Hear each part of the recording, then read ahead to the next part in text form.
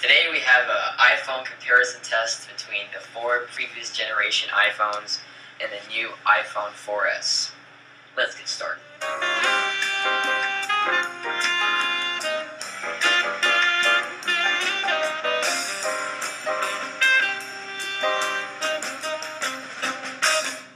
First, let's do a web browsing test.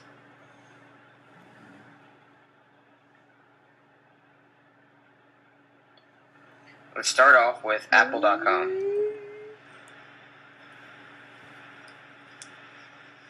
Okay, it looks like the iPhone 4S one, followed by the iPhone 4, and then 3GS, back to back. And now the uh, iPhone 2 and 3G finish at the exact same time. Alright, now let's do a test with uh, New York Times.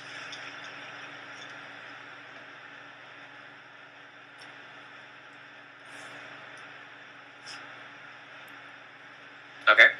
Looks like the iPhone 4S, one, very fast, followed by iPhone 4, and then the 3GS, and then yet again, the iPhone 2G and 3G are still loading the page.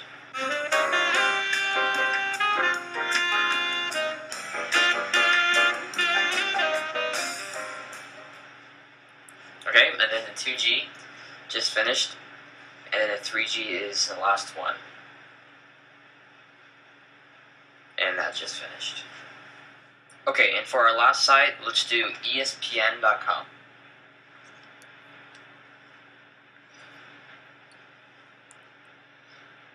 Alright, looks like the iPhone 4S was finished first, followed by the iPhone 4, and then now the 3GS, and then the iPhone 3G and 2G are still pretty far behind.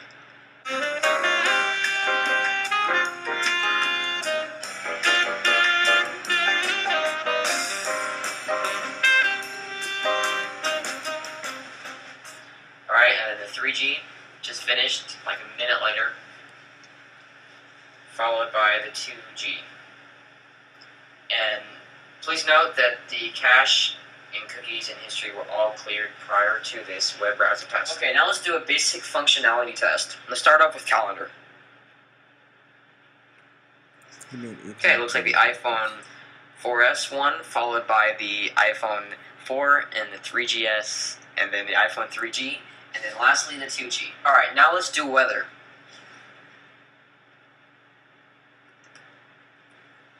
Okay, it looks like the iPhone 4 one, followed by the uh, 4S one, followed by the iPhone 4, 3GS, and then the 2G, and then lastly the 3G. Okay, now let's do an app speed test.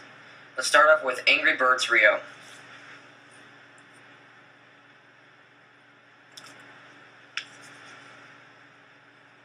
Alright, looks like the 4S started first, followed by the iPhone 4, and then 3GS, and then the iPhone 2G, followed by the iPhone 3G.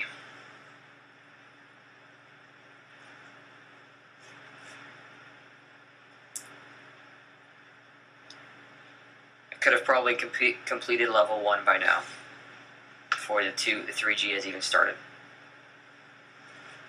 Okay, our second app that we're going to test is Tiny Wings.